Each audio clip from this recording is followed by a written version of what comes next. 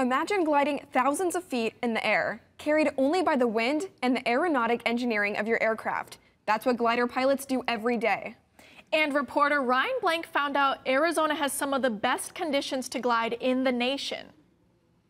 We're ready to go. If you look up east of the Sierra Estrella Mountains, you may see the wings of a glider sailing effortlessly through the distant sky. You're resting up in the air and things are going by slowly and there's no sound. It's what you imagine as a kid would be like to fly as a bird. It's, it's just really terrific. The Estrella Sailport in Maricopa, Arizona is an outpost at the foundation of an evolving sport, glider aerobatics. The type of flying that most requires a really good fundamental piloting skill more than any other types of aviation. It's an interesting blend of physical control of the aircraft and of mental decision making. That's because the competing glider pilots have an aerobatic box in which to showcase their skills in a sequence, balancing their pilot skills in the natural environment. You want to have as much of the sequence as possible right in front of the judges. If you have a very strong wind, you're going to be coming into the aerobatic box and you might have to drive into the wind in order to have your first figure start in the right place so all the rest of the figures are in the right place. And nowhere will you see more accomplished pilots who ride the wind like at the U.S. National Aerobatic Championships held here this year. I've been fortunate enough to be able to do the competition flying for a long time. I think the competition really is about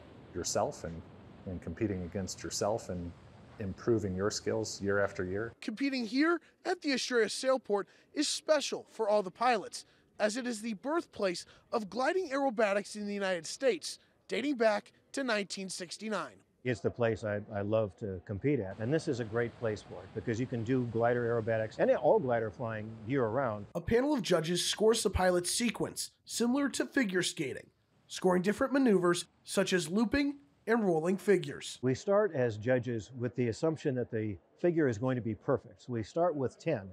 And then every time we see a mistake, we knock some points off. Uh, and there are all sorts of deductions for each of the various errors that you can make in a particular figure. So we deduct from 10 down to perhaps as low as, as zero. But maybe more important than the competition is a chance to show off the sport, something that's been a goal of owner Jason Stevens since his family purchased the Sailport in 1987. That's really rewarding. Uh, I get to fly with lots of interesting people from all sorts of backgrounds and from all over the world. It's good that there's there's things like this that can bring people together. It's amazing. Um, you you want to see it grow because if it's growing, it's it's going to continue. You know, down the line. One of the the awful realizations or realities that we face as a pilot is that we're not always going to be able to do this. Helping to cultivate uh, the newer generations of aerobatic pilots ensures that this, this amazing sport will continue in the future. With my feet firmly planted on the ground, in Maricopa, Ryan Blank, Cronkite News.